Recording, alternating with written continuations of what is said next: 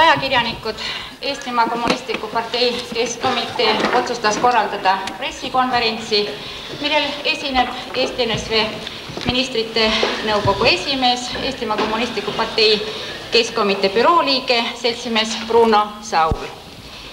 võtavad osa pressikonverentsist veel akadeemik Mihkel Veidermaa, Eesti NSV metsamajanduse ja looduskaitseministri esimene asetäitja Felix Nõmsalu, Eesti NSV geoloogia valitsuse juhataja asetäitja, peageoloog Evald Mustjõgi ja tootmiskoondise Eesti Fosforiit peadirektor Aleksander Pevkuts. palun, seltsimees Saul, võime alustada.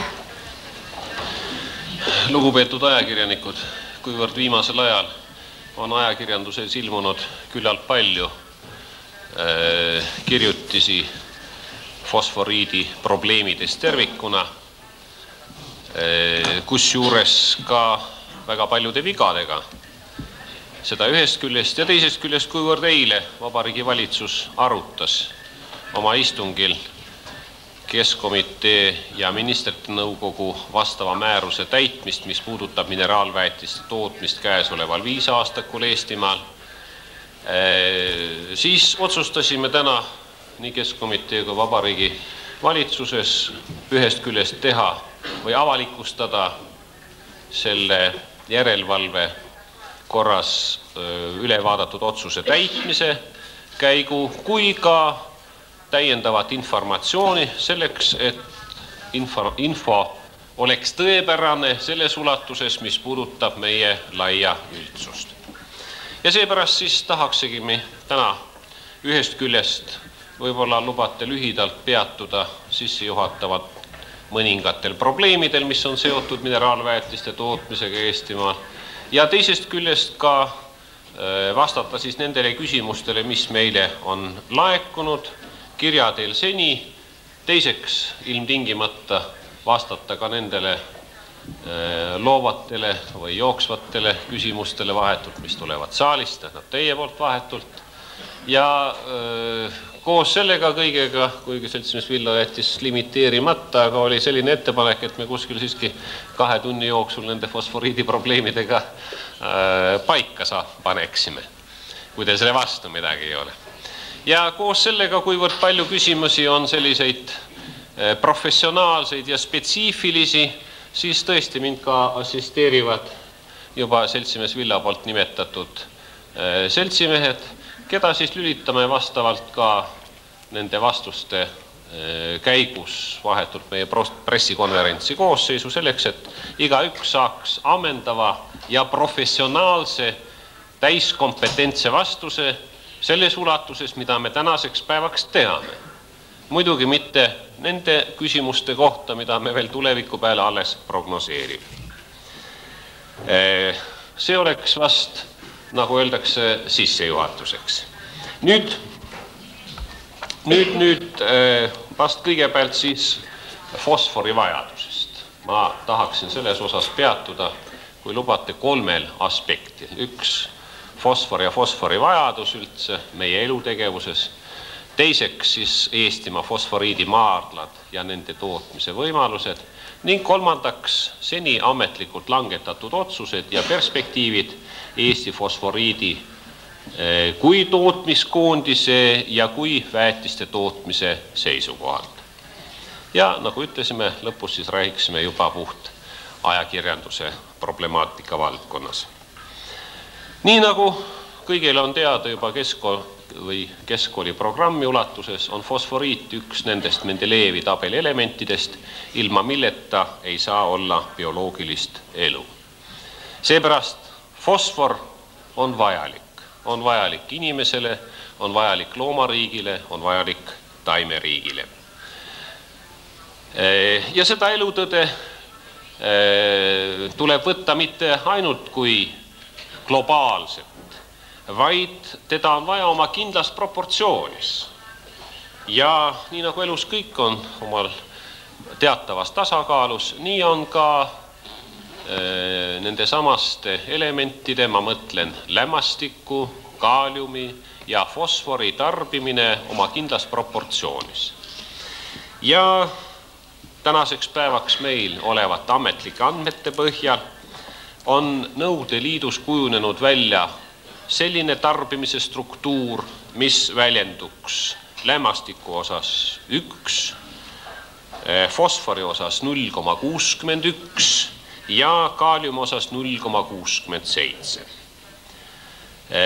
see on muidugi mitte puhaselemendina, vaid oksüüdidena. meie vabariigis möödunud aastal kujutas tarbimine ja ka käesoleval aastal on see tarbimise struktuur selline, et me saame lämmastikväetisi üks, fosforväetisi null koma viiskümmend kolm ja kaaliumväetisi null koma kaheksakümmend kuus. kuidas hinnata neid, on see hea, halb, vähe või palju? on olemas optimaalne väetiste struktuur või nende elementide struktuur meie väetiste koosseisus, mis on balansseeritud meie toitlustusprogrammis, selleks, et tulla välja nendele piirjoontele, mis on kindlaks määratud toitlustusprogrammiga meie vabariigile aastaks tuhat üheksasada üheksakümmend. nimetan ka need arvud. jällegi üks lämmastik, null koma seitsekümmend kaks fosfor, lahutage siit see vahe, null koma seitsekümmend kaks vajadus, optimum, ja null koma viiskümmend kolm tegelik praegu ning null koma kaheksakümmend seitse. seega nagu näete, kaalium ja äh, lämmastik nagu öeldakse, faktide tasemel tänaseks päevaks, fosfor aga tohutu defitsiidiga. kusjuures agrokeemikute andmetel, nii palju kui mina valdan seda küsimust, on määratud kindlaks, et meie taimekasvu juurdekasvust piirides, ütleme alumisest piirist kümme tsentnerit hektarile teravilja osas kuni umbes neljakümne tsentnerini hektarile ülemise piirini. selles vahes või selles piirimaadel on viljakus tagatud meil umbes viiekümne protsendi ulatuses vahetult väetiste arvel, väetiste arvel. seega, nagu näete, omavad nad küllalt suurt tähtsust, arvestades, et tänaseks päevaks, nagu te teate, oleme me piirimaadel kakskümmend kaheksa, kolmkümmend tsentnerit hektarilt teravilja tootmises Eestimaal. palju me tarbime koguseliselt? kaheksakümne kuuendal aastal liidu keskmine tarbimine moodustas kaheksakümmend kaheksa kilo hektari kohta. Eestimaal kakssada seitsekümmend kaks kilo. näete, küllalt palju. ma mõtlen sel ajal juba nüüd mineraalväetist ja summa summarum. ka lätlastel on isegi rohkem, kakssada kaheksakümmend kilo ja Leedus sada kaheksakümmend kolm kilo. on seda palju või vähe? kahjuks vähe, sest meie Lääne-Euroopa partnerid, esmajoones ma mõtlen siin meie sotsialistlike riikide põllumajanduse tarbimise struktuuris on mineraalväetiste kogused kolm ja rohkem korda suuremad kui Nõukogude Liidus. kolm ja rohkem korda suuremad kui Nõukogude Liidus. nii Saksamaal, Ungaris kui ka ma mõtlen Saksa Demokraatlikku Vabariiki, Ungarit, Rahvavabariiki ja Tšehhoslovakkiat. kusjuures meie see struktuur, mille ma nimetasin aastaks tuhat üheksasada üheksakümmend, on kaetud fosforväetistega vaid seitsmekümne kolme protsendi ulatuses. seitsekümmend kolm protsenti, defitsiit moodustab kakskümmend seitse protsenti. ma räägin praegu need protsendid ära selleks, et pärast mitte aega kulutada konkreetsetele küsimuste vastamisele, kuivõrd need küsimused on niikuinii meile esitatud nagu ma ütlesin, meie toidulaud on määratud meie toitlustusprogrammi kindlaks pandud tegevuskavaga. ja seal me näeme ette põlluviljakuse tõstmist teravilja kasvatamise osas kolmekümne seitsme tsentnerini hektarilt praeguse kahekümne kaheksa asemel, see nõuab tõsist ja suurt tööd. kahjuks viimastel aastatel oleme selles suhtes tammunud suhteliselt paigal ja nagu te mäletate, saime selles osas tõsise kriitika osaliseks ka seltsimees Mihhail Gorbatšovi poolt, kes esines Vabariikliku partei ja majandusaktiivi ees kahekümne esimesel märtsil. ka liha osas on meil ette nähtud üheksakümnendaks aastaks toota kolmsada viiskümmend neli tuhat tonni liha, mis peab baseeruma söötadel, kuid kahjuks söötadega on meil asi suhteliselt ebarahuldav või vähemalt nõuab tunduvat parandamist ja kes on tänases rahvahäälest lugenud mu sõnavõttu viimasel pleenumil, ma usun, et seda probleemi peaks tunnetama küllalt hästi. meie põllumeeste väidete kohaselt annab üks kilogramm mineraalväetisi kuus sööttühikut. kuus sööttühikut, meie aga tahame viia hektari saagikuse sööttühikute valdkonnas selleks, et kindlustada loomad normaalselt söödaga kuni kolme tuhande viiesaja sööttühikuni. seega siit on, ma usun, sellest lühikesest sissejuhatusest selge, et fosfor on meile vajalik ja vajalik mitte fosfori tootmise pärast, vaid meie elu enda pärast. selleks, et kindlustada meie toidulauda. siit edasi lahenduse kompleks lahendab üksi mineraalväetis või fosfor meie probleemi? ei, kaugeltki mitte. selles ma olen paljude küsijatega ühel arvamusel, et see nõuab tervet kompleksi üritusi ja ka see ürituste kompleks on praegu välja töötatud, ette nähtud ning realiseerimisel. selleks on esiteks tehnika väljatöötamine ma toon teile ainult ühe näite, selleks on välja töötatud praegu koostöös Soome teadlastega meie agrotööstuskomitee poolt Valgas vahetult niinimetatud külvikjuku. külvikujuku rakendamine, mis lubab külvata samaaegselt ja teha üldse neli operatsiooni korraga, kuid külvata samaaegselt äh, teraviljaga ka mineraalväetisi kuid mineraalväetisi liitväetiste näol kindlasti erinevatele teraviljasortidele erinevalt, erinevale pinnasele erinevalt, kuid ilmtingimata liitväetisi ja granuleeritud kujul, ja granuleeritud kujul.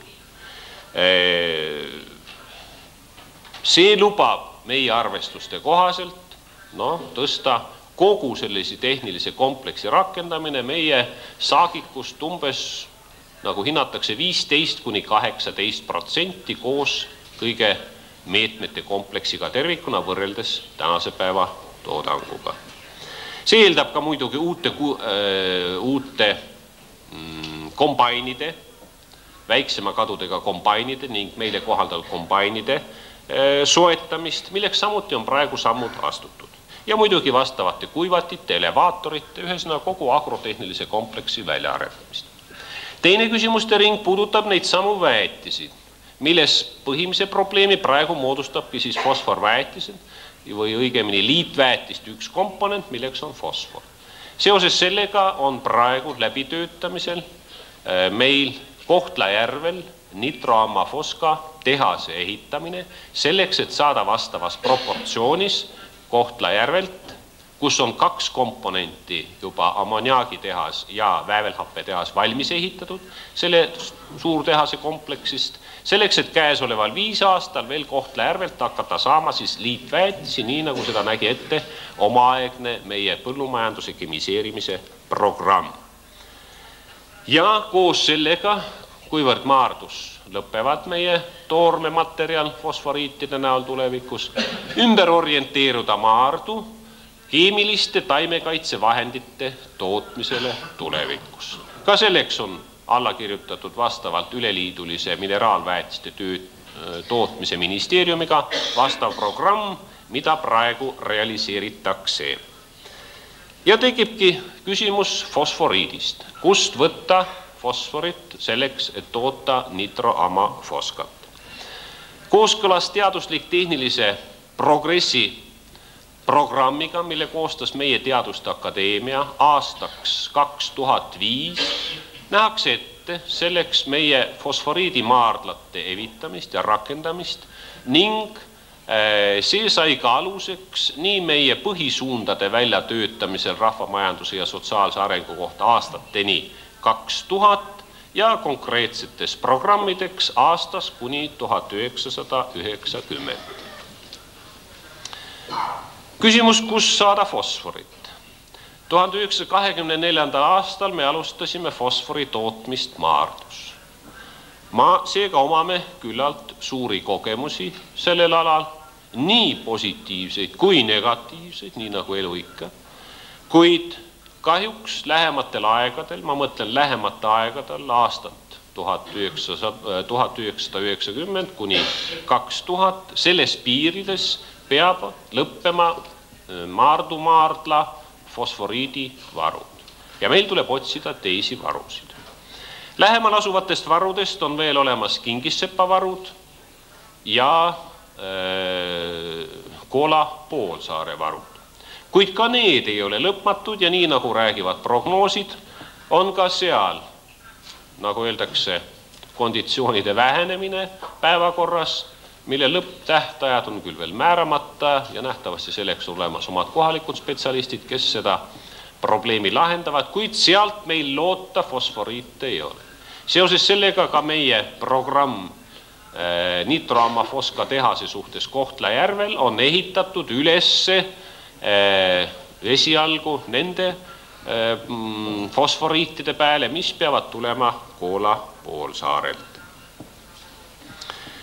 Äh, jääb edasi alles paar päeva tagasi küllalt põhjalikult valgustatud küsimus Maroko fosforiitidest, kes varustab peamiselt, võiks öelda, suuremat osa maailma, välja arvatud Ameerika Ühendriike, väga rikkalike varudega, kuid see on seotud valuutaga, see on seotud suurte kulutustega ja meie vabariigi tingimustes ei ole reaalne leida valuutat selleks, et hakata sisse vedama Marokost fosforiiti.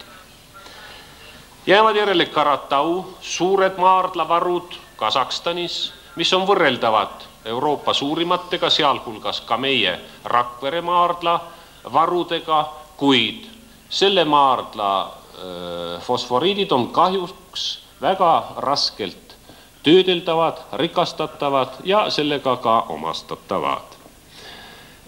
Seega orienteeruda, nagu öeldakse, maakera teise peaaegu poole peale nende varude kasutamisest Eestimaal oleks ka ebareaalne.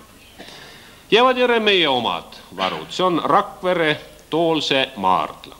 nagu te teate, Toolse maardla kohta seoses Diachtoneema kiltkivi Äh, olemasoluga, probleemidega, millega me lõpuni jagu ei ole saanud Maardus tänase päevani, ei tule kõne alla ja selle kohta on langetatud äh, liidu mineraalväetiste ministeerium ja Vabariigi Valitsuse ühine otsus, millega on välistatud nende maardlate, äh, tähendab konkreetselt Toolse maardla kasutuselevõtt. jääb järele Rakvere maardla või selle konkreetne osa Lääne-Kabala Rakvere maardla iseendast kujutab ühte suuremat, ma juba nimetasin samaväärset, ütleme, Koola poolsaare maardlate, Karatau maardlate, omades praeguste andmete põhjal ligemale kuus miljardit tonni või kuussada miljonit tonni sajaprotsendilises B2O5 väärtuses maaki. no see on juba hapet muidugi ning seega küllalt suured ja perspektiivsed nende ärakasutamiseks. kusjuures esimene järjekord nendest laiub territooriumil, mille suurus on nelikümmend kilo, ruutkilomeetrit, millest on ka vastavalt olnud küllalt äh, ajakirjanduses viimasel ajal juttu. tänaseks päevaks käib siin detail äh, geoloogilised uurimised, mis peaksid lõppema tuleval aastal ja lõpptähtajana, mis on kinnitatud äh, riiklike maavarude komisjoni poolt nende kinnitamiseks määratud tähtaeg tuhande üheksasaja kaheksakümne kaheksanda aasta kolmas kvartal. Nende fosforiidi sisaldus siin on, moodustab neliteist protsenti, kihi keskmine paksus seitse ja pool meetrit, sügavusel umbes sada meetrit. seega, nagu öeldakse, küllalt perspektiivsed selleks, et neid kasutada. kuid nagu iga asja juures on olemas omad probleemid ka siin tahaksin nimetada kolme probleemi. esiteks, see on tehnilis-tehnoloogilised probleemid, mis on seotud kaevandamise tehnoloogia, äh, tehnoloogiaga esmajärjekorras. Äh, nii täpsemalt me peatume nendel küsimustel veidi hiljem, kuid ütleme, et juba ette ära, et need on küllalt rasked probleemid sellises sügavuses, mis vajavad küllalt põhjalikku ja täielikku läbitöötamist ja mis kõige tähtsam, näha ette selline tehnoloogia, mis vast-, vastaks tasemele aastaks kaks tuhat, mitte aga tasemele aastale tuhat üheksasada kaheksakümmend. teiseks on hüdroloogilised ja ökoloogilised probleemid.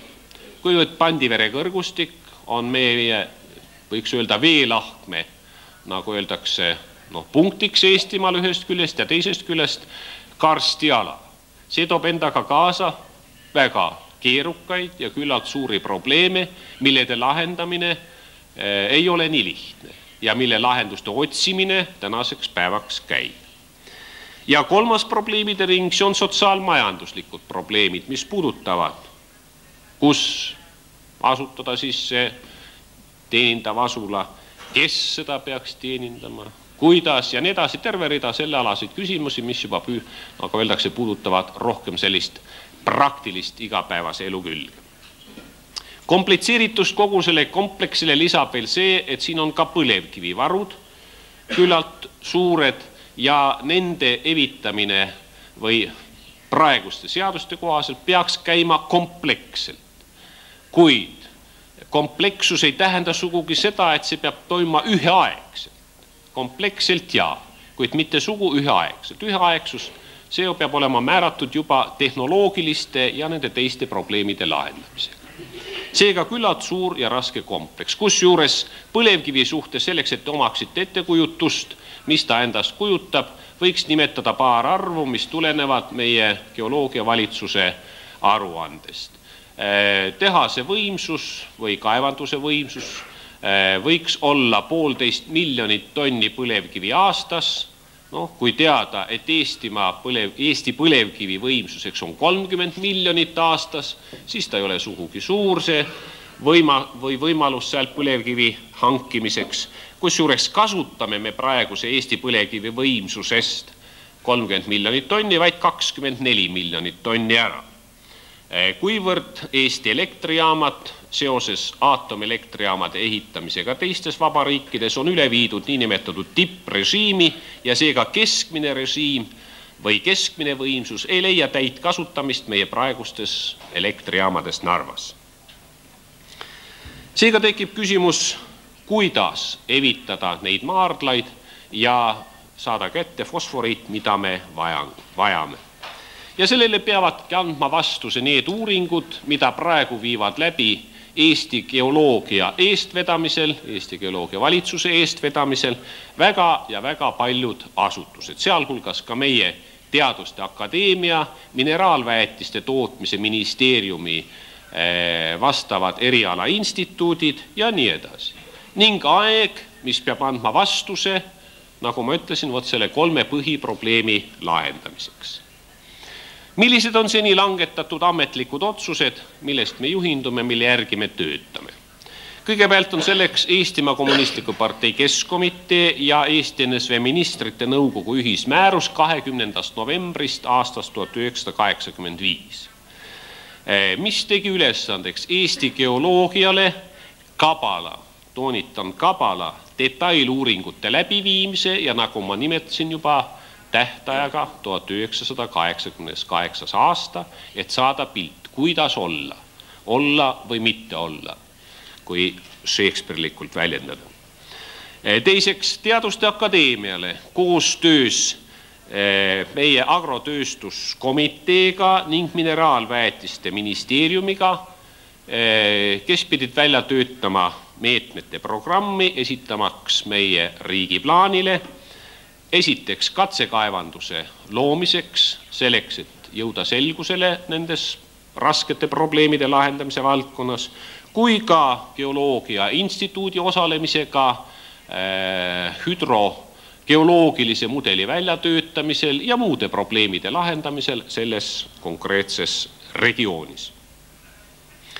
Äh, kolmandaks Rakvere täitevkomiteele äh, vahetult, koos muidugi tähendab Teaduste Akadeemia Agrotööstuskomitee ja teistega osaleb vahetult kõigis nendes üritustes ka meie tootmiskoondis Eesti Fosforiit. Rakvere täitevkomiteele oli pandud sellealane kontrollfunktsioon ning sotsiaalkultuuriliste meetmete läbimõtlemine, selle väljapakkumine ja öö, nagu öeldakse, noh, läbitöötamine. Määruses oli ka ette nähtud käesoleval viisaastakul katsetehase ehitamise alustamine Kabalasse, kuid Äh, selleks langetati kaks otsust, esiteks viisaastaku plaanis vahendite mitteeraldamisega sellele kompleksile langes see küsimus päevakorrast ära ja koos sellega ka seisatati tehnoökonoomilise põhjenduse koostamine vahetult sellele Kabala maardlale ning teiseks Eh, vastavad liidu organid kuni liidu riigiplaanini välja pidasid vajalikuks selle katsekaevanduse ehitamise juba tellija, see tähendab mineraalväetiste tootmise ministeerium või meie keeles Eesti fosforiidi poolt, mitte aga Eesti geoloogia poolt, nagu öeldakse, noh, liidetavate ümbervahetuses summa ei muutu, et ühesõnaga niikuinii see tuleb teha ja vastavalt sellele saada ka siit vastavad järeldused, kuidas edasi toimida. Võin öelda, et kahekümne kuuendal märtsil valmistudes ette eilseks aruteluks Vabariigi Valitsuses ja ka tänaseks kohtumiseks teiega, ma kohtusin Liidu Mineraalväetiste Ministeeriumi juhtkonnaga, kus leidsin täieliku solidaarsuse, mitte, mitte sellise solidaarsus, nagu sellest kirjeldas viienda märtsi Noorte Hääl seltsimees Aare artiklis, seltsimees Jampoli intervjuu näol, vaid vastupidi, seltsimees Koževnikovi kui ministri asetäitja täieliku toetuse igasuguse separaatluse välistamise ning koos vabariigiga kõikide probleemide lahendamiseks pärast seda, kui on pilt selge, mis iseendast kujutab Kabala maardla. täna see pilt puudub meie eilses otsuses, mida me arutasime Vabariigi Valitsuses, langetati ka täiendavad otsused ja koos sellega töötati välja täiendavad meetmed, mis põhimõtteliselt seisnevad selles, et esiteks Eesti geoloogia valitsuse töödes on tunda teatavat isoleeritust Äh, isoleeritust kahes mõttes, esiteks äh, probleemi avalikustamisel, mis ei ole ajastu vaimuga kooskõlas, ja teiseks koostöö tegemiseks vabariigi paljude organitega, kes võiksid selles suhtes ja peaksid selles suhtes kaasa lööma, esmajoones meie Teaduste Akadeemia süsteemis. ja koos sellega nägime ette meetmed, mis tugevdaksid just selle uurimiste kvaliteedi läbiviimist sellel ametkonnal. teiseks Teaduste Akadeemial, kes meie Eesti NSV Teaduste Akadeemial muidugi, kellelt on siiamaani olnud vähe konkreetset abi nende probleemide lahendamisel nii Majandusinstituudi, Geoloogia Instituudi ja paljude teiste alg lülide poolt, kes võiksid kaasa lüüa selle probleemi kvaliteetsel uurimisel ning siit ka lahenduste väljapakkumisel. ette nähti ka pöördumine vahetult Nõukogude Liidu geoloogiaministeeriumine, mineraalväetiste tööstuse ministeeriumi ning teaduslik-tehnilise komitee poole selleks, et pidada otstarbeks luua teaduslik-tehniline keskus, kes kompleksselt uuriks kogu seda probleemi või õigemini aitaks uurida seda probleemi, nii nagu me lõime näiteks Tartu biokeskuse äh, geneetika valdkonnas. Ja ma usun, et see ettepanek äh, leiab toetust ja koos sellega ka läbitöötamist ning vastavad tööorganid nii Eesti NSV riigiplaani koosseisus kui ka Vabariigi Valitsuse koosseisus töökomisjoni eesotsas eh, ministrit nõukogu esimehe asetäitja seltsimees Melnikuga ning kaasa tõmbamaks sinna kõiki selle eriala vastavaid spetsialiste. Sellega ma piirduksin, kuid nüüd infost ja desinformatsioonist.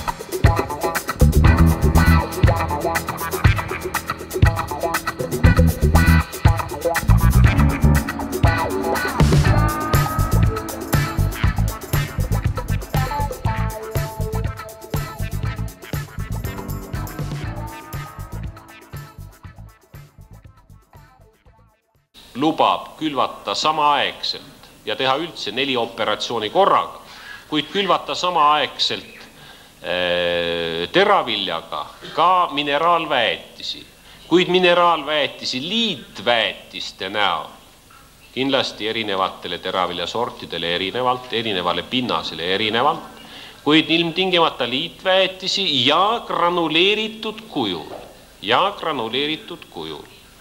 Äh, see lubab meie arvestuste kohaselt noh, tõsta kogu sellise tehnilise kompleksi rakendamine meie saagikust umbes nagu hinnatakse viisteist kuni kaheksateist protsenti koos kõige meetmete kompleksiga tervikuna võrreldes tänase päeva toodanguga. see eeldab ka muidugi uute, äh, uute mm, kombainide, väiksema kadudega kombainide ning meile kohaldatud kombainide soetamist, milleks samuti on praegu sammud astutud. ja muidugi vastavate kuivatite, elevaatorite, ühesõnaga kogu agrotehnilise kompleksi väljaarendamist. teine küsimuste ring puudutab neid samu väetisi, milles põhimise probleemi praegu moodustabki siis fosforväetised või õigemini liitväetiste üks komponent, milleks on fosfor.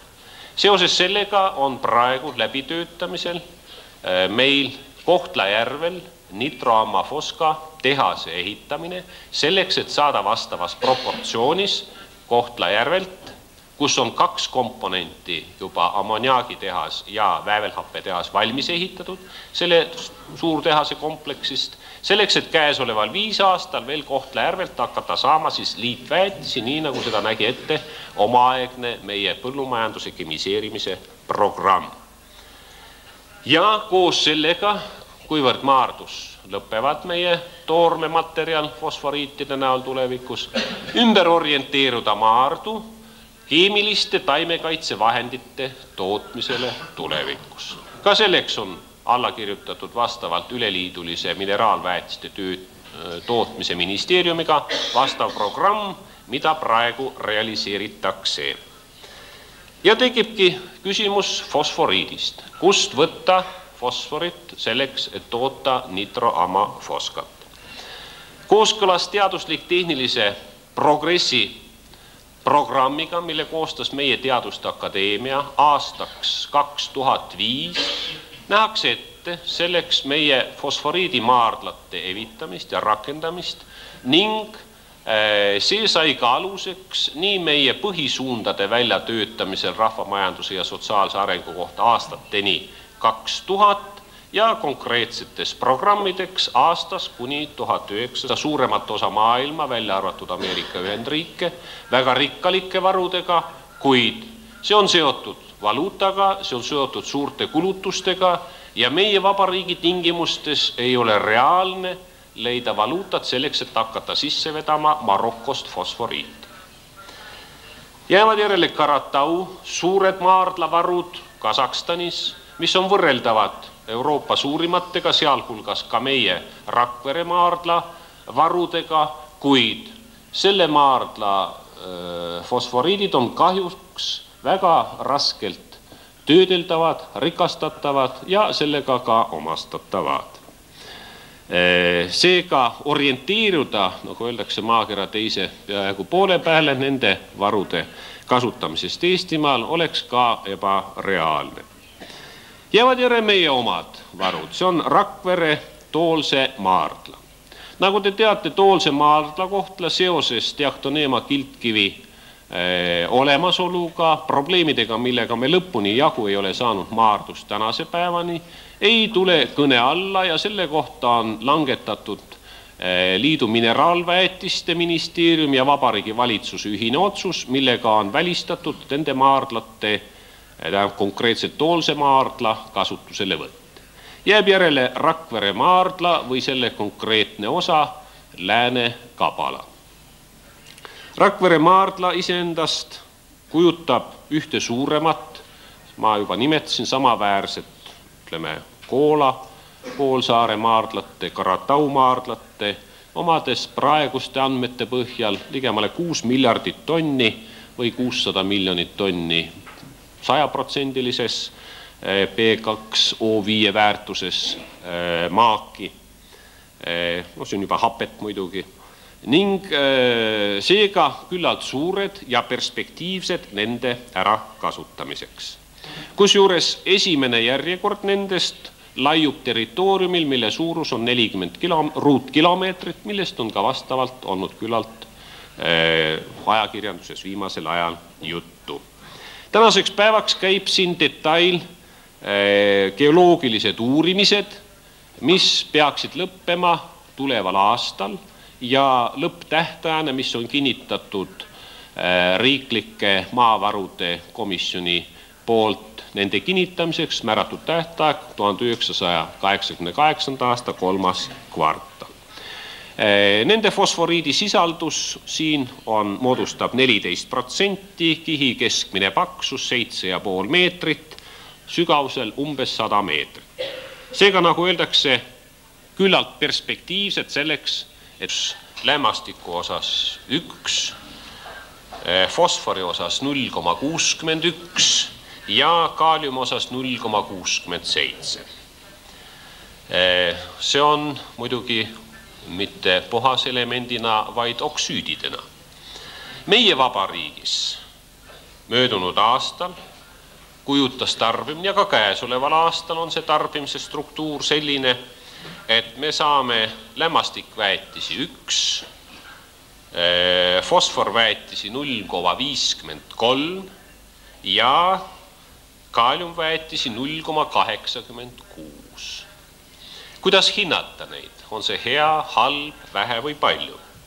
on olemas optimaalne väetiste struktuur või nende elementide struktuur meie väetiste koosseisus, mis on balansseeritud meie toitlustusprogrammis, selleks, et tulla välja nendele piirjoontele, mis on kindlaks määratud toitlustusprogrammiga meie vabariigile aastaks tuhat üheksasada üheksakümmend. nimetan ka need arvud.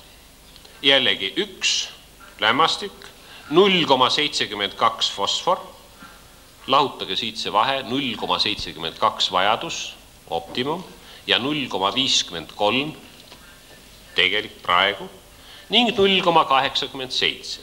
seega, nagu näete, kaalium ja äh, lämmastik nagu öeldakse, faktide tasemel tänaseks päevaks, fosfor aga tohutu defitsiidiga. kusjuures agrokeemikute andmetel, nii palju kui mina valdan seda küsimust, on määratud kindlaks, et meie taimekasvu juurdekasvust piirides, ütleme alumisest piirist kümme tsentnerit hektarile teravilja osas kuni umbes neljakümne tsentnerini hektarile ülemise piirini. selles vahes või selles piirimaadel on viljakus tagatud meil umbes viiekümne protsendi ulatuses vahetult väetiste arvel, väetiste arvel. seega, nagu näete, omavad nad küllalt suurt tähtsust, arvestades, et tänaseks päevaks, nagu te teate, oleme me piirimaadel kakskümmend kaheksa, kolmkümmend tsentnerit hektarilt teravilja tootmises Eestimaal. palju me tarbime koguseliselt? Kaheksakümne kuuendal aastal liidu keskmine tarbimine moodustas kaheksakümmend kaheksa kilo hektari kohta. Eestimaal kakssada seitsekümmend kaks kilo. näete, küllalt palju. ma mõtlen sel ajal juba nüüd mineraalväetisi summa summarum. ka lätlastel on isegi rohkem, kakssada kaheksakümmend. see eeldab ka muidugi uute, uute mm, kombainide väiksema kadudega kombainide ning meile kohaldatud kombainide eh, soetamist, milleks samuti on praegu sammud astutud. ja muidugi vastavate kuivatite, elevaatorite, ühesõnaga kogu agrotehnilise kompleksi väljaarendamist. teine küsimuste ring puudutab neid samu väetisi, milles põhimise probleemi praegu moodustabki siis fosforväetised või õigemini liitväetiste üks komponent, milleks on fosfor. seoses sellega on praegu läbitöötamisel eh, meil Kohtla-Järvel nitroammafoska tehase ehitamine selleks, et saada vastavas proportsioonis Kohtla-Järvelt, kus on kaks komponenti juba ammoniaagitehas ja väävelhappetehas valmis ehitatud, selle suurtehase kompleksist, selleks, et käesoleval viis aastal veel Kohtla-Järvelt hakata saama siis liitväetisi, nii nagu seda nägi ette omaaegne meie põllumajanduse kemiseerimise programm ja koos sellega, kuivõrd maardus lõpevad meie toormematerjal fosforiitide näol tulevikus, ümber orienteeruda maardu keemiliste taimekaitsevahendite tootmisele tulevikus. ka selleks on alla kirjutatud vastavalt üleliidulise mineraalväetiste töö tootmise ministeeriumiga vastav programm, mida praegu realiseeritakse ja tekibki küsimus fosforiidist, kust võtta fosforit selleks, et toota nitroamafoskat. kooskõlas teaduslik-tehnilise progressi programmiga, mille koostas meie Teaduste Akadeemia aastaks kaks tuhat viis, nähakse ette selleks meie fosforiidimaardlate evitamist ja rakendamist ning see sai ka aluseks nii meie põhisuundade väljatöötamisel rahvamajanduse ja sotsiaalse arengu kohta aastateni kaks tuhat ja konkreetsetes programmideks aastas kuni tuhat üheksasada üheksakümmend. küsimus, kust saada fosforit? tuhande üheksasaja kahekümne neljandal aastal me alustasime fosfori tootmist Maardus. Ma, seega omame küllalt suuri kogemusi sellel alal nii positiivseid kui negatiivseid, nii nagu elu ikka. kuid kahjuks lähematel aegadel, ma mõtlen lähemate aegadel aastat tuhat üheksasada, tuhat üheksasada üheksakümmend kuni kaks tuhat, selles piirides peab lõppema äh, Maardu maardla fosforiidivarud ja meil tuleb otsida teisi varusid. Lähemal asuvatest varudest on veel olemas Kingissepa varud ja Äh, Kola poolsaare varud. kuid ka need ei olnud teele äh, vahetult, koos muidugi äh, tähendab Teaduste Akadeemia, Agrotööstuskomitee ja teistega osaleb vahetult kõigis nendes üritustes ka meie tootmiskoondis Eesti Fosforiit. Rakvere täitevkomiteele oli pandud sellealane kontrollfunktsioon ning sotsiaalkultuuriliste meetmete läbimõtlemine selle väljapakkumine ja nagu öeldakse, noh, läbitöötamine. määruses oli ka ette nähtud käesoleval viisaastakul katsetehase ehitamise alustamine Kabalasse, kuid selleks langetati kaks otsust. esiteks viisaastaku plaanis vahendite mitteeraldamisega sellele kompleksile langes see küsimus päevakorrast ära ja koos sellega ka äh, seisatati tehnoökonoomilise põhjenduse koostamine vahetult sellele Kabala maardlale ning teiseks äh, vastavad liidu organid kuni liidu riigiplaanini välja pidasid vajalikuks selle katsekaevanduse ehitamise juba tellija, see tähendab mineraalväetiste tootmise ministeerium või meie keeles Eesti fosforiidi poolt, mitte aga Eesti geoloogia poolt, nagu öeldakse, noh, liidetavate ümbervahetuses summa ei muutu, nii et ühesõnaga niikuinii see tuleb teha ja vastavalt sellele saada ka siit vastavad järeldused, kuidas edasi toimida.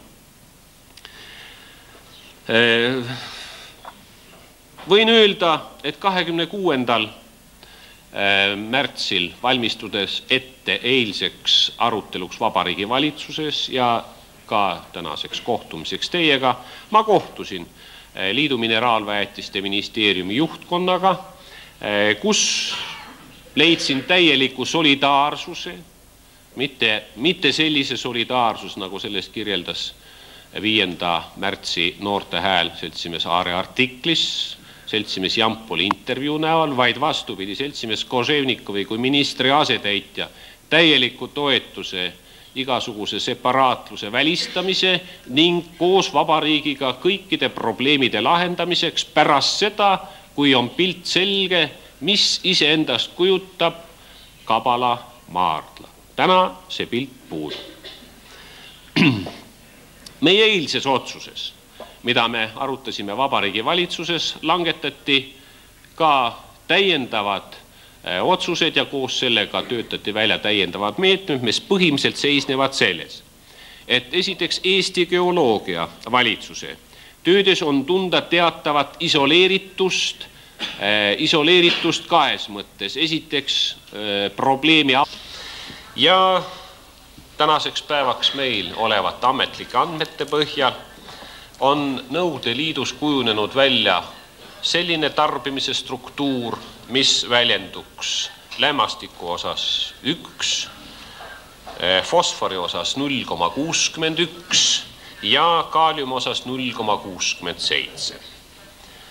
Eh, see on muidugi mitte puhaselemendina, vaid oksüüdidena.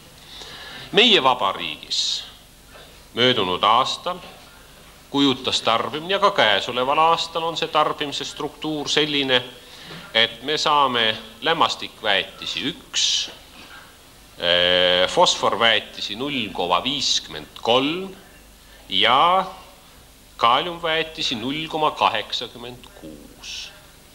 kuidas hinnata neid, on see hea, halb, vähe või palju? on olemas optimaalne väetiste struktuur või nende elementide struktuur meie väetiste koosseisus, mis on balansseeritud meie toitlustusprogrammis, selleks, et tulla välja nendele piirjoontele, mis on kindlaks määratud toitlustusprogrammiga meie vabariigile aastaks tuhat üheksasada üheksakümmend. nimetan ka need arvud. jällegi üks lämmastik, null koma seitsekümmend kaks fosfor, lahutage siit see vahe, null koma seitsekümmend kaks vajadus, optimum ja null koma viiskümmend kolm tegelik praegu ning null koma kaheksakümmend seitse. seega nagu näete, kaalium ja äh, lämmastik, nagu öeldakse, faktide tasemel tänaseks päevaks, fosfor aga tohutu defitsiidiga. kusjuures agrokeemikute andmetel, nii palju kui mina valdan seda küsimust Äh, on määratud kindlaks, et meie taimekasvu juurdekasvust piirides, ütleme alumisest piirist kümme tsentnerit hektarile teravilja osas kuni umbes neljakümne tsentnerini hektarile ülemise piirini, selles vahes või selles piirimaadel on viljakus tagatud meil umbes viiekümne protsendi ulatuses vahetult väetiste arvel, väetiste arvel. seega, nagu näete, omavad nad küllalt suurt tähtsust, arvestades, et tänaseks päevaks, nagu te teate, oleme me piirimaadel kakskümmend kaheksa, kolmkümmend tsentnerit hektarilt teravilja tootmises Eestimaal. palju me tarbime koguseliselt? Kaheksakümne kuuendal aastal liidu keskmine tarbimine moodustas kaheksakümmend kaheksa kilo hektari kohta. ka tehase ehitamine selleks, et saada vastavas proportsioonis Kohtla-Järvelt, kus on kaks komponenti juba ammoniaagitehas ja väävelhappetehas valmis ehitatud, selle suurtehase kompleksist, selleks, et käesoleval viis aastal veel Kohtla-Järvelt hakata saama siis liitväetisi, nii nagu seda nägi ette omaaegne meie põllumajanduse kemiseerimise programm. ja koos sellega kuivõrd maardus lõpevad meie toormematerjal fosforiitide näol tulevikus, ümber orienteeruda maardu keemiliste taimekaitsevahendite tootmisele tulevikus. ka selleks on alla kirjutatud vastavalt üleliidulise mineraalväetiste töö tootmise ministeeriumiga vastav programm, mida praegu realiseeritakse. ja tekibki küsimus fosforiidist, kust võtta fosforit selleks, et toota nitroamafoskat. kooskõlas teaduslik-tehnilise progressi programmiga, mille koostas meie Teaduste Akadeemia aastaks kaks tuhat viis, nähakse ette selleks meie fosforiidimaardlate evitamist ja rakendamist ning see sai ka aluseks nii meie põhisuundade väljatöötamisel rahvamajanduse ja sotsiaalse arengu kohta aastateni kaks tuhat ja konkreetsetes programmideks aastas kuni tuhat üheksasada üheksakümmend. Küsimus, kust saada fosforit? tuhande üheksasaja kahekümne neljandal aastal me alustasime fosfori tootmist Maardus. ma, seega omame küllalt suuri kogemusi sellel alal, nii positiivseid kui negatiivseid, nii nagu elu ikka, kuid kahjuks lähematel aegadel, ma mõtlen lähemate aegadel aastat tuhat üheksasada, tuhat üheksasada üheksakümmend kuni kaks tuhat, selles piirides peab lõppema Maardu maardla fosforiidivarud ja meil tuleb otsida teisi varusid. lähemal asuvatest varudest on veel olemas Kingissepa varud ja äh, Kola poolsaare varud kuid ka need ei ole lõpmatud ja nii nagu räägivad prognoosid, on ka seal, nagu öeldakse, konditsioonide vähenemine päevakorras, mille lõpptähtajad on küll veel määramata ja nähtavasti selleks olemas omad kohalikud spetsialistid, kes seda probleemi lahendavad, kuid sealt meil loota fosforiite ei ole. seoses sellega ka meie programm äh, nitroammafoska tehase suhtes Kohtla-Järvel on ehitatud ülesse Äh, esialgu nende äh, fosforiitide peale, mis peavad tulema Koola poolsaarelt. Äh, tehase võimsus või kaevanduse võimsus võiks olla poolteist miljonit tonni põlevkivi aastas. noh, kui teada, et Eestimaa põlev, Eesti põlevkivi võimsuseks on kolmkümmend miljonit aastas, siis ta ei ole sugugi suur see võima- või võimalus sealt põlevkivi hankimiseks, kusjuures kasutame me praeguse Eesti põlevkivi võimsusest kolmkümmend miljonit tonni, vaid kakskümmend neli miljonit tonni ära. Kuivõrd Eesti elektrijaamad seoses aatomilektrijaamade ehitamisega teistes vabariikides on üle viidud niinimetatud tipprežiimi ja seega keskmine režiim või keskmine võimsus ei leia täit kasutamist meie praegustes elektrijaamades Narvas seega tekib küsimus, kuidas evitada neid maardlaid ja saada kätte fosforiit, mida me vaja, vajame. Ja sellele peavadki andma vastuse need uuringud, mida praegu viivad läbi Eesti geoloogia eestvedamisel, Eesti geoloogia valitsuse eestvedamisel väga ja väga paljud asutused, sealhulgas ka meie Teaduste Akadeemia, Mineraalväetiste Tootmise Ministeeriumi Eh, vastavad erialainstituudid ja nii edasi. ning aeg, mis peab andma vastuse, nagu ma ütlesin, vot selle kolme põhiprobleemi lahendamiseks. Millised on seni langetatud ametlikud otsused, millest me juhindume, mille järgi me töötame? kõigepealt on selleks Eestimaa Kommunistliku Partei Keskkomitee ja Eesti NSV Ministrite Nõukogu ühismäärus kahekümnendast novembrist aastast tuhat üheksasada kaheksakümmend viis Eh, mis tegi ülesandeks Eesti geoloogiale kabala, toonitan kabala detailuuringute läbiviimise ja nagu ma nimetasin juba, tähtajaga tuhat üheksasada kaheksakümnes kaheksas aasta, et saada pilt, kuidas olla, olla või mitte olla, kui Shakespeare'likult väljendada. teiseks Teaduste Akadeemiale koostöös meie agrotööstuskomiteega ning mineraalväetiste ministeeriumiga, kes pidid välja töötama meetmete programmi, esitamaks meie riigiplaanile esiteks katsekaevanduse loomiseks, selleks, et jõuda selgusele nendes raskete probleemide lahendamise valdkonnas, kui ka Geoloogia Instituudi osalemisega äh, hüdrogeoloogilise mudeli väljatöötamisel ja muude probleemide lahendamisel selles konkreetses regioonis. kolmandaks Rakvere täitevkomiteele vahetult koos muidugi tähendab Teaduste Akadeemia, Agrotööstuskomitee ja teistega osaleb vahetult kõigis nendes üritustes ka